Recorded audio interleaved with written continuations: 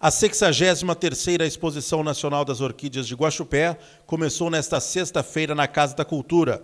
Com a presença de autoridades e da rainha da festa, o presidente do Núcleo dos Orquidófilos destacou a grandiosidade da exposição. É um privilégio muito grande para nós a festa vai ser um sucesso, seguramente. Nós estamos aí com 74 cidades participando, nos prestigiando, visitando Guaxupé, prestigiando a nossa exposição e mais de 2.600 vasos expostos. Está muito bonita a exposição e vale a pena, convido todo mundo para que venha ver, vale a pena.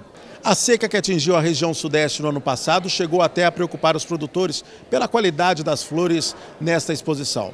Mas com 2.606 vasos e 74 cidades cadastradas, a Exposição Nacional das Orquídeas de Guaxupé passa a ser a maior exposição do Brasil. Superou nossa expectativa, tínhamos realmente essa preocupação. É, a seca realmente atrapalhou um pouquinho, algumas plantas deram poucas flores e, no entanto, fomos surpreendidos. Está muito bonita, muitas plantas bonitas expostas e somos hoje a maior exposição do circuito Caob no país. Somos a maior cidade, a que tem a, a maior exposição do país. Patrono da festa, o agropecuarista Antônio Carlos Martins ressaltou a importância histórica da exposição para a cidade de Guaxupé. Ser patrono é um negócio emocionante, porque você está, parece que você está patrocinando aquela festa.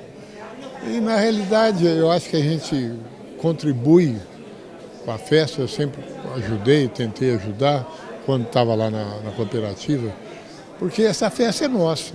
Aquilo que eu tentei dizer lá no começo, que meia dúzia de pessoas fundou o núcleo de orquidófilo, eu era moleque, mas eu lembro da primeira festa.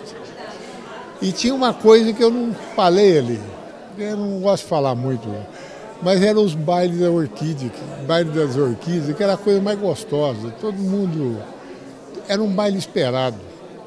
Então, eu falo que história e gente eu dou muito valor. Já a rainha da festa, Marcela Branches, destacou a tradição da festa e do posto de rainha. Para mim é um privilégio, já que meu pai, ele é orquidófilo há mais de 30 anos e eu cresci meio às orquídeas e eu me sinto muito feliz, já que eu posso estar representando, tipo, é uma coisa muito importante para mim. A exposição deste ano conta também com o expositor da cidade mais distante, a produtora Maria Eloir veio de Campo Grande, no Mato Grosso do Sul, e viajou mais de mil quilômetros em um carro de passeio com 25 vasos para a exposição.